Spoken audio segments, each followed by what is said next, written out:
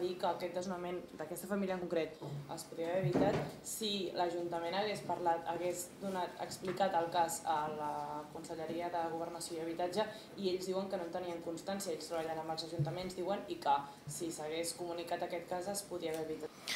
A veure, sobre la primera pregunta, eh, o sigui, a mi em sorprèn perquè els únics que tenien coneixement del dispositiu d'antiavalots que hi havia en el desallotjament era precisament la Generalitat de Catalunya, que era qui executava aquest, aquest desnonament. No?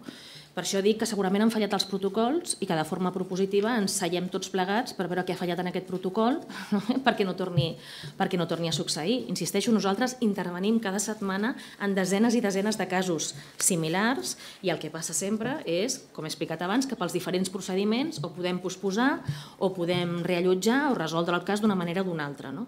I que no es produeix mai la situació que es va produir ahir. Els únics coneixedors de la situació que es va produir ahir era la Generalitat de Catalunya perquè Mossos d'Esquadra depèn de la Generalitat de Catalunya, no de l'Ajuntament de Barcelona.